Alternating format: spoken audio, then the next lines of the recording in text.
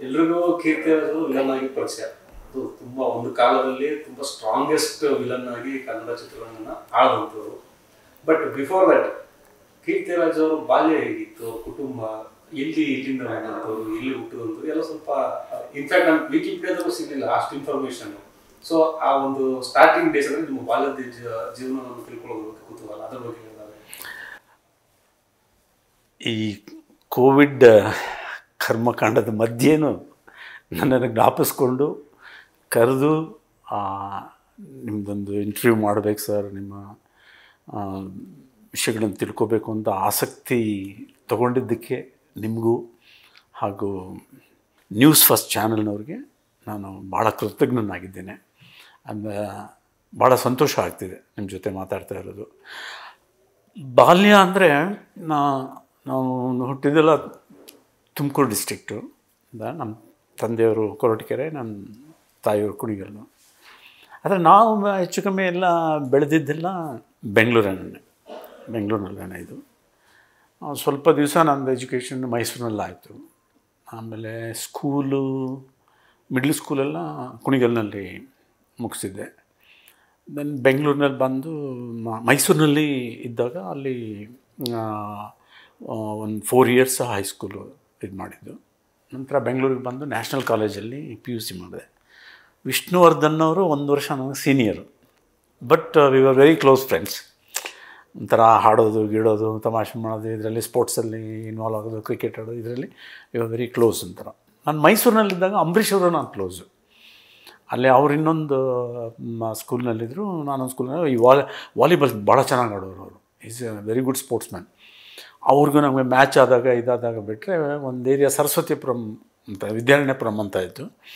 ಅಲ್ಲೇ ನಾನು ಆ ಏರಿಯಾನಲ್ಲಿ ಇದ್ದಿದ್ದು, ಅವರು ಆ ಏರಿಯಾನಲ್ಲಿ ಅವ್ರ ಮನೆ ಇದ್ದಿದ್ದು. ಹಾಗಾಗಿ we were very good friends ಆ ನಂತರದಲ್ಲಿ ನಾವು, ಅವರು ರಾಜೇಂದ್ರ ಸಿಂಗ್ ಬಾಬು ಅವರ ಫ್ಯಾಮಿಲಿ ಸಂಗ್ರಾಮ್ ಸಿಂಗ್ ಅಂತ ಅವ್ರ ಬ್ರದರ್ ಇದ್ದರು ಅವರು ಎಲ್ಲರೂ ಒಂದು ಗ್ಯಾಂಗ್ ಇವರ್ ಆಲ್ ಟುಗೆದರ್ ಆಮೇಲೆ ನಂತರ ಇಲ್ಲಿ ಬಂದಮೇಲೆ ಬೆಂಗಳೂರಿನಲ್ಲಿ ಬೆಂಗಳೂರಿಗೆ ಬಂದುಬಿಟ್ಟೆ ನಾನು. ಅಲ್ಲಿವರೆಗೂ ನನ್ನ ತಂದೆಯವರು ಡಿಸ್ಟಿಕ್ ಜಡ್ಜ್ ಆಗಿ ಬಳ್ಳಾರಿ ಕಾರವಾರ ಬೆಳಗಾವಿ ಹಿಂಗೆ ಓಡಾಡೋರು. ಒಂದೊಂದು ವರ್ಷಕ್ಕೂ ಟ್ರಾನ್ಸ್ಫರ್ ಆಗೋದು ಎರಡು ವರ್ಷಕ್ಕೂ. ಆ, ಇದಕ್ಕೋಸ್ಕರ ನಾನಿಲ್ಲಿ ನಮ್ಮ ಅಜ್ಜಿಯವ್ರ ಜೊತೆನಲ್ಲಿ ಹಾಸ್ಟೆಲಲ್ಲಿ ಓದ್ತಾ ಇದ್ದೆ.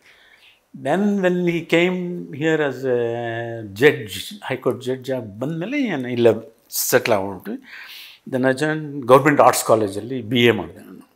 Then Jagadguru Shivaratreshwara S G R C ಅಂತ ಇದೆ. ಇದರಲ್ಲಿ ಗಾಂಧಿನಗರ ಹತ್ರ ಆನಂದರಾವ್ ಸರ್ಕಲ್ ಹತ್ರ. ಅಲ್ಲಿ ನಾನು ಲಾ ಜಾಯ್ನ್ ಆದೆ. ನಮ್ಮ ತಂದೆಯವರ ಆಸೆ ಇದ್ದಿದ್ದು ನಾನೊಬ್ಬ ಲಾಯರ್ ಆಗಬೇಕು ಅಂತ ಹೇಳಿ. ನಮ್ಮ ತಾಯಿಯವರ ಆಸೆ ಇದ್ದಿದ್ದು ನಾನೊಬ್ಬ ಡಾಕ್ಟ್ರ್ ಆಗಬೇಕು ಅಂತ. ನಾನು ಒಂದೇ ಡಾಕ್ಟ್ರ್ ಆಗ ಪಿ ಯು ಸಿ ಆದಮೇಲೆ ಇಂಟರ್ವ್ಯೂಗೂ ಹೋಗಿದ್ದೆ ಅದು. ಅದೇ ಕಾರಣಾಂತರದಿಂದ ಅದು ಆಗಲಿಲ್ಲ. ಬಟ್ ಅದೇನಾಯಿತು? ಅಫ್ಕೋರ್ಸ್ ಆ್ಯಕ್ಟಿಂಗ್ ಬಗ್ಗೆ ನನಗೆ ಭಾಳ ಆಸೆ ಇತ್ತು, ಕಾಳಜಿ ಇತ್ತು. ಇನ್ಫ್ಯಾಕ್ಟ್ ಹೇಳ್ಬೇಕಂದ್ರೆ ನಾನು ಆ ಚಿಕ್ಕ ಹುಡುಗನಾಗಿದ್ದಾಗಲೇ ಹೇಗೋ ನಾಲ್ಕಾಣಿ, ಎಂಟಾಣಿ ಹೊಂಚ್ಕೊಂಡು ಫ್ರೆಂಡ್ಸ್ ಜೊತೆಯಲ್ಲಿ ಟೆಂಟ್ ಸೆನ್ ಟೆಂಟ್ಗಳಲ್ಲಿ ಹೋಗಿ ಪಿಕ್ಚರ್ ನೋಡೋದು. ಈ ವಿಜಯನಗರದ ವೀರಪುತ್ರ ಅನ್ನೋ ಪಿಕ್ಚರ್ನ ಒಂದು ಹದಿನೈದು ಸಾರಿ ನೋಡಿದ್ದೀನಿ. ಆ ಗೇಟ್ ಕೀಪರು ಮರಿ ಒಂದು ದಿಮ್ ಕೊಡ್ತೀನಿ, ಇಲ್ಲೇ ಮಲಗಿಬಿಡಪ್ಪ ನೆಕ್ಸ್ಟ್ ಶೋರ ನೋಡ್ಕೊಂಡು ಹೋಗೋಲ್ಲ. ಇದನ್ನು ನಾನು ಸುದರ್ಶನವ್ರ ಜೊತೆ ಆ್ಯಕ್ಟ್ ಮಾಡೋ ಅವ್ರಿಗೆ ಜ್ಞಾಪಿಸಿದೆ ಸರ್, ನನಗೆ ಆ್ಯಕ್ಟಿಂಗ್ ಮಾಡಬೇಕು ಅಂತ ಎಲ್ಲಾದರೂ ಒಂದು ಕಡೆ ಅನಿಸಿದ್ರೆ ಅದು ನಿಮ್ಮ ಚಿತ್ರನ ಇಷ್ಟು ಸಾರಿ ನೋಡಿದಾಗ, ವಿಜಯನಗರದ ವೀರಪುತ್ರ ಚಿತ್ರ ನೋಡಿದಾಗ, ಆಮೇಲೆ ಅಣ್ಣ ಅವ್ರದ್ದು ಸತ್ಯ ಹರಿಶ್ಚಂದ್ರ ಆ ಕಾಲದಲ್ಲಿ ಅದು ನೋಡಿದಾಗ, ಆಮೇಲೆ ನಾನು ಡ್ರಾಮಾಸ್ ಎಲ್ಲ ಮಾಡ್ತಾಯಿದ್ದೆ ಸ್ಟೇಜ್ ಮೇಲೆ ಹಾಡೋದು ನನ್ನ ಫೇವ್ರೆಟ್ ಅಂದರೆ ಸ್ಕೂಲ್ ಸ್ಕೂಲಲ್ಲಿ ಮಿಡ್ಲ್ ಸ್ಕೂಲ್ನಲ್ಲಿದ್ದಾಗ ಏ ನೀನು ಒಂದು ಹಾಡು ಹೇಳೋ ಅಂತ ಮೇಸ್ಟ್ ಹೇಳಿದ್ರೆ ಏನಂದ್ರೆ ಫಂಕ್ಷನ್ನಲ್ಲಿ ಅಪಾರ ಕೀರ್ತಿ ಗಳಿಸಿ ಮೆರೆವ ಭವ್ಯ ನಾಡಿದು ಅಂತ ಅವಂಗೆ ಒರೆಸ್ಕೊಂಡು ಹೀಗೆಲ್ಲ ಆಡೋದು. ದೇಸ್ಟು ಲವ್ ಇಟ್ ಆ್ಯಂಡ್ ಹೈಸ್ಕೂಲಿಗೆ ಬಂದಾಗ ನಾನು ಡ್ರಾಮಾಸಲ್ಲಿ ಮಾಡ್ತಾಯಿದ್ದೆ ಈ ವರ್ಷ ವರ್ಷ ಡ್ರಾಮಾ ಮಾಡ್ತಾರೆ. ಇವಾಗೆಲ್ಲ ಅಭ್ಯಾಸಗಳು ಇದೆಯೋ ಎಲ್ಲೋ ಗೊತ್ತಿಲ್ಲ. ಅವಾಗೆಲ್ಲ ಸ್ಕೂಲು ಕಾಲೇಜ್ಗಳಲ್ಲಿ ನಮ್ಮದು ಕಾಲೇಜ್ ಡೇ ಅಂತ ಮಾಡ್ತಾಯಿದ್ರು ವರ್ಷ ತುಂಬುತ್ತಾ ಇದ್ದಂಗೆ ಎಕ್ಸಾಮಿಗೆ ಮುಂಚೆ.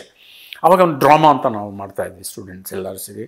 ಒಬ್ಬ ಮೇಸ್ಟ್ರು ಅದಕ್ಕೆ ಇನ್ಚಾರ್ಜ್ ತೊಗೊಂಡು. ಫಸ್ಟ್ ಇಯರ್ ನಾನು ಮಾಡಿದ್ಮೇಲೆ ಮೂರು ವರ್ಷನೂ ನೀನೇ ಕಣೋ ಹೀರೋ ಒಂದು ಡ್ರಾಮಾದಲ್ಲಿ ಅಂತ ಹೇಳ್ಬಿಟ್ರು ನಮ್ಮ ಅಲ್ಲಿ ಮೇಸ್ಟ್ರುಗಳು ಅವರು ಏಯ್, ನೀನು ಸ್ಟೇಜ್ ಅಪಿಯರೆನ್ಸ್ ಎಲ್ಲ ಭಾಳ ಚೆನ್ನಾಗಿದೆ ನಿನ್ನ ಸ್ಟೈಲು ನಿನ್ನ ನೋಡೋ ಥರ ಎಲ್ಲ, ನೀನು ಒಳ್ಳೆ ಆ್ಯಕ್ಟ್ರ್ ಆಗ್ಬೋದು ಮರಿ ಅಂತ ಹೇಳೋದು ಐ ಥಿಂಕ್ ಅದೊಂದು ಬೀಜ ಎಲ್ಲೋ ಒಂದು ನನ್ನ ಮನಸ್ಸಿನ ಮೇಲೆ ಬಿತ್ತು ಅಂತ ಕಾಣಿಸ್ತದೆ. ಆ್ಯಕ್ಟ್ರ್ ಆಗ್ಬೋದು ನಾನು ಆಗಬೇಕು ಅಂತ. ಆಮೇಲೆ ಆವಾಗ ಯಾವುದೇ ಒಳ್ಳೆ ಪಿಕ್ಚರ್ಗಳು ಬಂದ್ರೂ ಮೂರು ಮೂರು ಸಾರಿ ನನಗೆ ಸರಿ, ಅದು ಹಿಂದಿ ಇರ್ಬೋದು, ತಮಿಳ್ ಇರ್ಬೋದು, ಕನ್ನಡ ಇರ್ಬೋದು ಮ್ಯಾಕ್ಸಿಮಮ್ ಆಮೇಲೆ ಎಲ್ಲಾದರೂ ನಾವು ಫ್ರೆಂಡ್ ಸರ್ಕಲ್ನಲ್ಲಿ ಕೂತಾಗ ಹಾಡುಗಳು ಹಾಡೋದು, ಇಲ್ಲ ಅದೇನೋ ಒಂದು ನಟನೆಯನ್ನು ಮಾಡಿ ತೋರಿಸೋದು. ದೇವಾನಂದ್ ಹೀಗೆ ಮಾಡ್ತಾನೆ, ಅಮಿತಾಬ್ ಬಚ್ಚನ್ ಹೀಗೆ ಮಾಡ್ತಾರೆ ಅಂದರೆ ಈ ಇದೆಲ್ಲ ಸುಮಾರು ಒಂಥರ ಕರಗತವಾಗಿಬಿಟ್ಟಿತ್ತು. ಆಮೇಲೆ ಲಾನಲ್ಲಿ ಓದ್ತಾ ಇದ್ದೆ ಸ್ವಲ್ಪ ತಾಯಿಯವ್ರಿಗೆ ಆರೋಗ್ಯ ಇದಾಯಿತು. ಅವ್ರಿಗೆ ಬ್ರೆಸ್ಟ್ ಕ್ಯಾನ್ಸರ್ ಬಂದು ಅವರ ಟ್ರೀಟ್ಮೆಂಟ್ಗೆ ಓಡಾಡೋದು ಅದು ಇದು ಎಲ್ಲ ಆಗಿ ಇದು ಮಾಡ್ತಾ ಇದ್ದಾಗ ಬೈ ಚಾನ್ಸ್ ನನಗೆ ವೀರಸ್ವಾಮಿಯವರ ಪರಿಚಯ ಆಯಿತು. ಹಾಗೆ ಅವರ ಪರಿಚಯ ಆಗಿ ಆ ಹೋದಾಗ ಅವರು ಹೇಮಾವತಿ ಪಿಕ್ಚರ್ ಮಾಡ್ತಾಯಿದ್ರು. ಹಾಂ ರವಿ ಸರ್ ತಂದೆ. ರವಿ ಸರ್ ತಂದೆಯವರು ಈಶ್ವರಿ ಪಿಕ್ಚರ್ಸ್ ವೀರಸ್ವಾಮಿಯವರು. ಅವರು ಹೇಮಾವತಿ ಪ್ಲ್ಯಾನ್ ಮಾಡ್ತಾಯಿದ್ರು ಸಿದ್ಧಲಿಂಗಣ್ಣ ಅವರು ಡೈರೆಕ್ಷನಲ್ಲಿ ಅದನ್ನು ಪ್ಲ್ಯಾನ್ ಮಾಡ್ತಾಯಿದ್ರು ಅಲ್ಲಿ ಹೋದಾಗ ಸರಿ ಅಂತೇಳಿ ಹಾಲ್ ಹಾಲ್ನಲ್ಲಿ ಕುಂತಿದ್ರು. ಅವರು ಬಾಲಕೃಷ್ಣ ಅವರು ಕುಂತಿದ್ರು, ಬಾಲಣ್ಣ ಅವರು, ಆಮೇಲೆ ಸಿದ್ಧಲಿಂಗಣ್ಣ ಅವ್ರು ಕುಂತಿದ್ರು, ಚಂದ್ರಲಾಲ್ ಜೈನ್ ಕುಂತಿದ್ರು. ಏನಾದರೂ ಆ್ಯಕ್ಟ್ ಮಾಡಿ ತೋರಿಸು ಮರಿ ಅಂತ.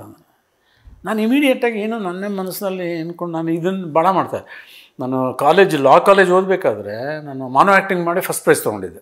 ಅದು ಮಹಿಷಾಸುರ ಮರ್ದಿನಿ. ನಾನೇ ಡೈಲಾಗ್ ಬರ್ಕೊಂಡು ನಾನೇ ಇದು ಮಾಡಿಕೊಂಡು ಆ ಮಹೇಶಂದು ಮಹೇಶಾಸುರಂದು ಚಾಮುಂಡಿ ಇಬ್ಬರದ್ದು ನಾನೇ ಆ್ಯಕ್ಟ್ ಮಾಡಿಕೊಂಡು ಇದು ಮಾಡಿ ಫಸ್ಟ್ ಪ್ರೈಸೆಲ್ಲ ತೊಗೊಂಡಿದ್ದೆ. ಅಲ್ಲಿ ಲೆಕ್ಚರ್ ಹೇಳೋರು, ಏಯ್ are very good actor man why good become actor ಅಂತ.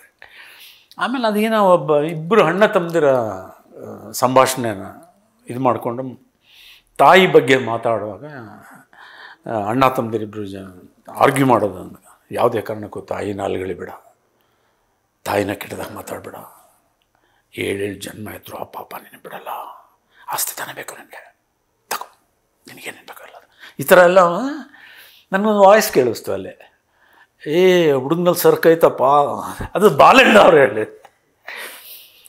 ಅವರು ಯಾವಾಗಲೂ ಹಂಗೆ, ಆಮೇಲೂ ನಾವು ಶೂಟಿಂಗ್ ಎಲ್ಲ ಶೂಟ್ ಮಾಡಿದ್ರೆ ಅವ್ರ ಜೊತೆನಲ್ಲಿ ನಾನು ಅಸೋಸಿಯೇಟ್ ಡೈರೆಕ್ಟ್ರಾಗಿ ನಾನು ಮಾಡಿ ಚಿತ್ರದಲ್ಲೂ ಒಲವೆ ನೋಡಿದ್ರೆ ಅದರಲ್ಲೆಲ್ಲ ಅವ್ರು ನೋಡೋ, ಸುಮಾರು ಪಿಕ್ಚರ್ ಅಶ್ವಮೇಧಲ್ಲ ಸುಮಾರು ಚ ಅವ್ರು ಏನಾದರೂ ಆದರೆ ಯಾರೋ ನೋಡ್ಬಿಟ್ಟು ಏನಾದರೂ ಒಳ್ಳೆ ಆ್ಯಕ್ಟಿಂಗ್ ಮಾಡಿದ್ರೆ ಚೆನ್ನ ಸ್ವರ್ಗ ಐತಿ ಅವನ ಹತ್ರ ಹೀಗೆ ಮಾತಾಡೋರು. ಹಳೆ ಕಾಲದವ್ರು ಅವರು ಥಿಯೇಟ್ರಿಂದ ಬಂದವರು. ಅವ್ರಿಗೆಲ್ಲ ಈ ಥರ